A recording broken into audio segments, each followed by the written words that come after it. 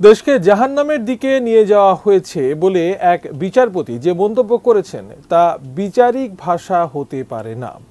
বুধবার সচিবালয়ে কথা বলেছেন তথ্য ও সম্প্রচার মন্ত্রী ডক্টর হাসান মাহমুদ। বিচারপতি যেই ভাষা ব্যবহার করেছেন, বিচার কার্য চলাকালীন সময়ে সেটি অবিচারক সুলভ ভাষা বলে আইনজ্ঞরা মত প্রকাশ করেছেন।